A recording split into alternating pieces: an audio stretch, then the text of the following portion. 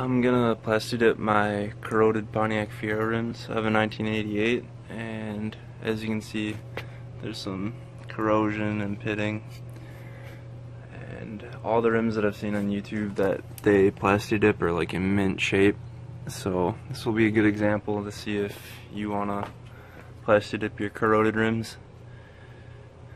I uh, took rubbing alcohol and then wiped down all the grease and potential oils that were on the rims and I pressure washed them and degreased them before that so let's start plasti dipping. I have five cans of the black and then two of the glossifier with fade buster. Just putting the tack coat on right now.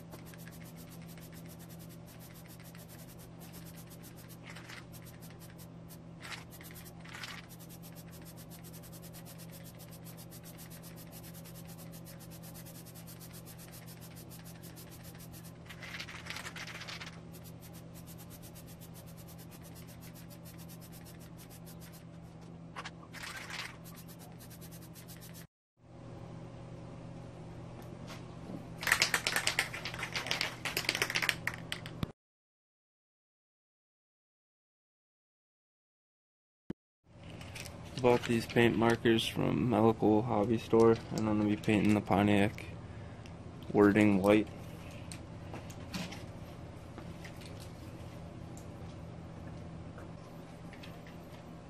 So that actually looks really nice. I'll walk through each one and then I was using a Treehouse Studio so if I can get this on here. Treehouse Studio paint marker and it was a size see what size it was. It's fine tip. That's the product number I believe. Serial number. 2.99 at my local Hobby Lobby. So that's what the first rim looks like. That's what the second rim looks like third rim looks like. And this is what the fourth rim looks like. So overall, I'm actually really satisfied with what or how these look and what they turned out as. Um, I'm gonna have to still put the glossifier on it, but I'm gonna wait until this paint marker dries a little bit.